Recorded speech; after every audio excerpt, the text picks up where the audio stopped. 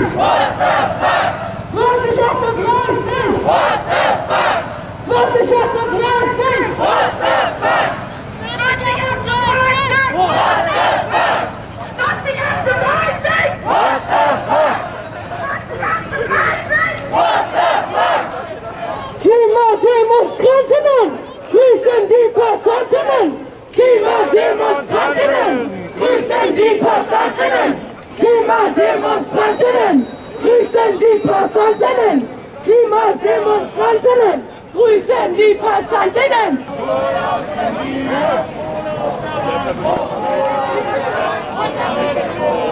Hoch mit dem Klimaschutz! Hoch mit dem Klimaschutz! Runter mit der Kohle! Hoch mit dem Klimaschutz! Hoch mit dem Klimaschutz! Hoch mit dem Klimaschutz! Hoch mit dem Klimaschutz! Hoch mit dem Klimaschutz! Hoch mit dem Klimaschutz! Hoch mit dem Klimaschutz! Hoch mit dem Klimaschutz!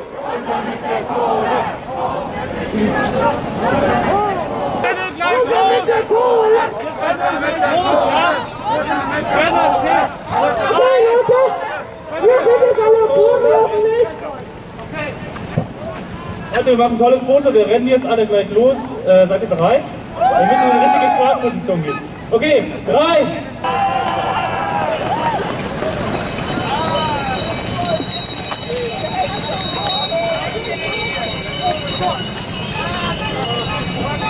Vierzig,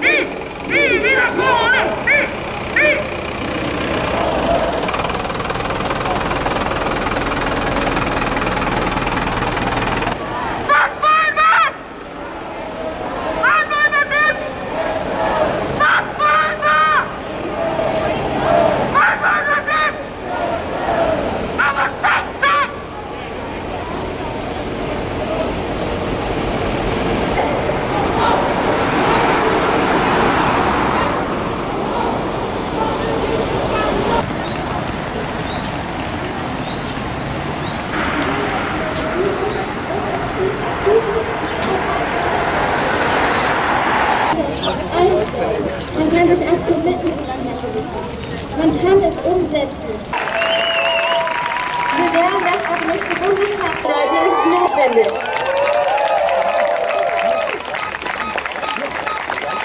Im Idealfall hätte die Regierung heute ein Zeichen gesetzt. Im Idealfall hätten wir uns auf die ökologische Integrität der SPD verlassen können.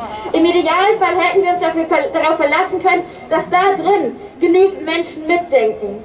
Im Idealfall hätten wir darauf verlassen, uns darauf verlassen können, dass die Regierung im Jahr 2020 angekommen ist. Das konnten wir offensichtlich nicht. Was wir aber stattdessen haben, ist ein einzigartiger Empörungsmoment. Ein Moment, in dem die Regierung so nackt ist wie nie zuvor. Eine Regierung, die Klima nicht versteht, der die Zukunft egal ist und die im Jahr 1995 verhaftet ist.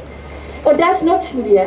Daraus machen wir was. Wir mobilisieren zum nächsten globalen Klimastreik im Herbst wenn wir dafür sorgen, dass in jeder Stadt in diesem Land ein ÖPNV, eine gerechte Klimaschutzstrategie durchgesetzt wird. Dafür werden wir sorgen, wenn wir weiterkämpfen. Denn das ist ja klar. Diese Kämpfe werden weitergehen. Und heute ist ein harter Tag, aber es ist auch ein Tag, an dem wir diese Empörung, die heute im Raum ist, konservieren müssen. Und wir tragen sie hinein in die nächsten Monate der Bewegung, denn das geht weiter. Wir geben jetzt nicht auf, Leute, im Gegenteil. Wir zeigen denen, wo der Hammer hängt. Das war deren größter Fehler bisher. Und das werden wir ihnen zeigen, immer und immer und immer wieder. Bis wieder nicht mehr sitzen. Klimamobilisierung starten, die man sich nur vorstellen kann. Wir haben in den letzten Jahren, nicht nur in den letzten zwei Jahren, auch in den Jahren davor, immer wieder gezeigt, dass die Dinge möglich sind. Was ist denn Hoffnung? Hoffnung ist die Option, Mögliches umzusetzen. Hoffnung ist nichts mehr als eine Möglichkeit, die in der fernen Zukunft steht. Und wir haben bewiesen, dass wir ganz, ganz viel machen können, wenn wir uns einsetzen, wenn wir laut werden, wenn wir zusammenkommen. Ihr kennt es. Und das machen wir weiter. Die werden sich noch ärgern und die werden noch, die werden noch verstehen, was sie heute gemacht haben. Das war keine kluge Entscheidung. Und im Zweifel war diese Entscheidung heute der, wichtige, der wichtigste Mobilisierungsmoment dieses Jahr. Das hier ist die Empörung, die wir mittragen werden in den nächsten Monaten, Leute. Alle zusammen. Ich zähle auf euch. Danke.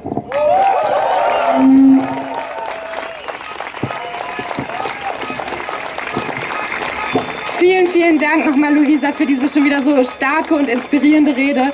Ähm, ja, gerechte Klimapolitik war das Stichwort, deswegen würde ich sagen, schreiben wir nochmal. What do we fucking want? What do we fucking want?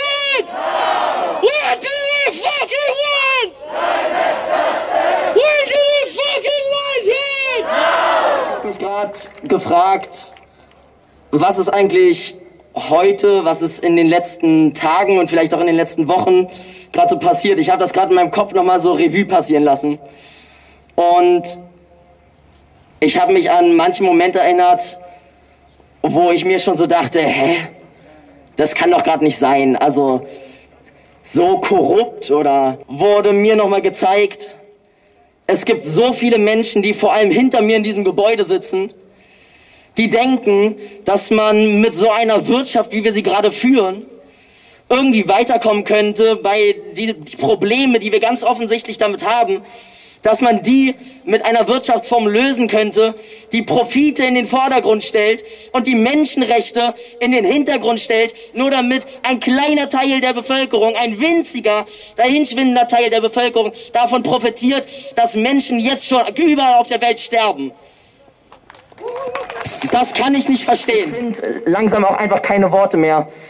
Es ist einfach, was heute vier Millionen auf die Straße gegangen sind, das ist vor allem Schlag ins Gesicht, die schon seit 40 Jahren darauf hinweisen, dass wir ein Problem bekommen werden und zwar ein Problem, das sich nicht einfach mit irgendeiner anderen Regel wegmachen lässt.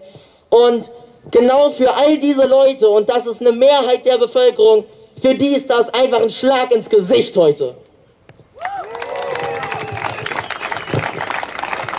Schon gesagt, es ist nur zum Profit von einer winzig kleinen Minderheit, die aber ganz, ganz große Macht hat.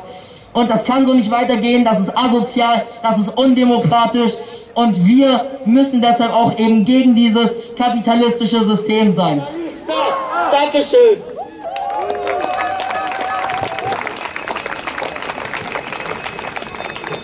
Genau, der Widerstand wird weitergehen, er muss weitergehen.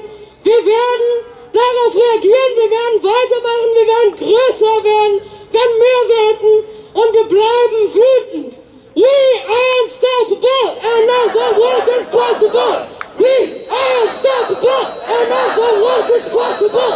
We are unstoppable and now the world is possible. We are unstoppable and now the world is possible. Genau, ich bin Lara, habt ihr ja gerade schon gehört. Und ja, vielleicht kennt der eine oder andere mich von, der, von Demos. Ich moderiere manchmal. Ja, ich bin Teil von Fridays for Future, aber was wir heute gemacht haben, das haben wir nicht als Fridays for Future Bewegung gemacht, sondern das haben wir als verdammt nochmal wütende Einzelpersonen gemacht. Wir sind heute Morgen um teilweise 6 Uhr aufgestanden, sind hierher gefahren und sind in den Bundestag. Wir haben einen Banner mitgenommen und wir haben das Banner den Abgeordneten gezeigt. Wir hatten 15 Sekunden, bis wir gehen mussten. Wir hatten diese 15 Sekunden und in diesen 15 Sekunden haben wir so gezeigt, wie wütend wir sind. Wie nicht okay wir das finden, was da drinnen passiert. Weil 2038, das geht nicht. Es ist viel zu spät. Und ich finde es unverantwortlich. Mir wurde gesagt, dass die anderen Personen, oder mir hat eine Person gesagt, sie würde es an, wenn sie an meiner Stelle stehen würde, respektlos finden, was wir hier machen. Was ich respektlos finde, ist, dass sie über unsere Zukunft entscheiden und uns nicht mitreden lassen. Wir stehen hier. Wir stehen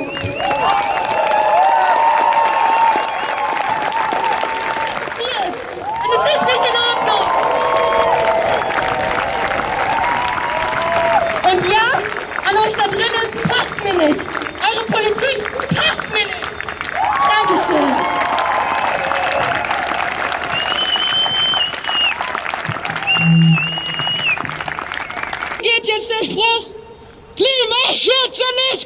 Verbrechen! Klimaschutz ist kein Verbrechen! Klimaschutz ist kein Verbrechen!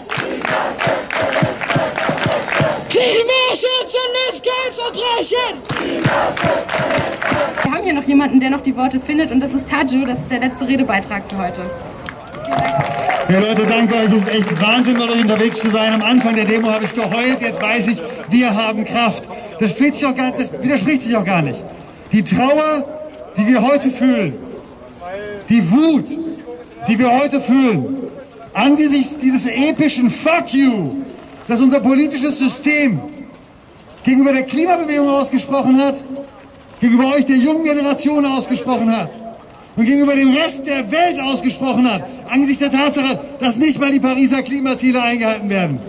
Angesichts dieses Fuck Yous ist es völlig nachvollziehbar, zu weinen, zu schreien, zu stampfen, heulen, zu, zu heulen, wütend zu sein, weil Wut ist genau die richtige Antwort darauf, wenn die angeblichen Volksvertreterinnen das Volk bescheißen, die Mehrheitsmeinung, auf die Mehrheitsmeinung scheißen und einfach sagen, wir folgen den Lobbys, wir machen Politik für deutsche Arbeitsplätze und deutsche Profite.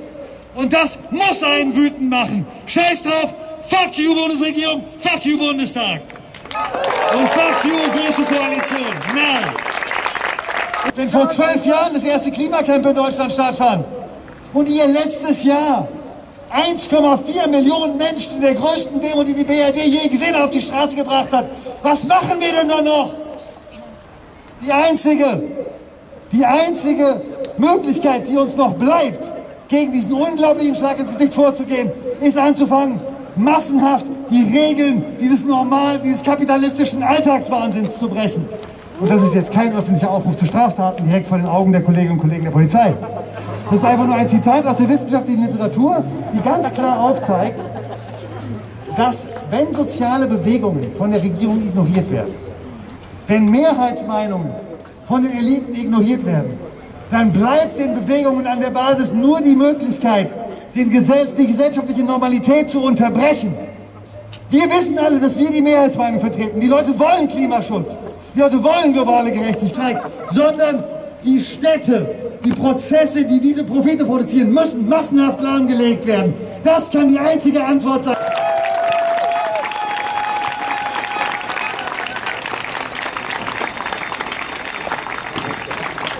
2038!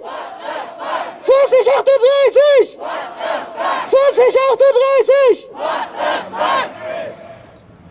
Okay, ich bin auch schon mega heiser. Ich bin, ich bin mir sicher, es geht euch auch so. Aber ich habe trotzdem noch einen Spruch für euch. Und zwar, What do we want? And when do we want it? What do we want? And when do we want it? Was wollen wir? Und wann wollen wir Dette? Yes, Aber zack, zack.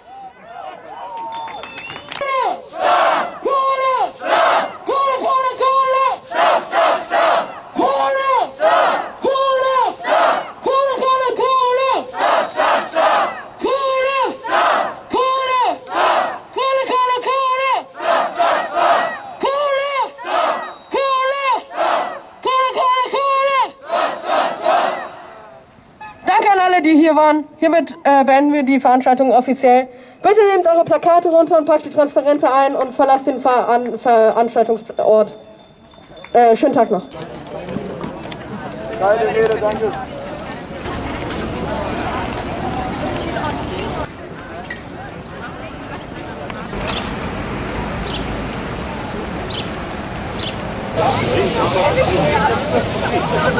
Ja.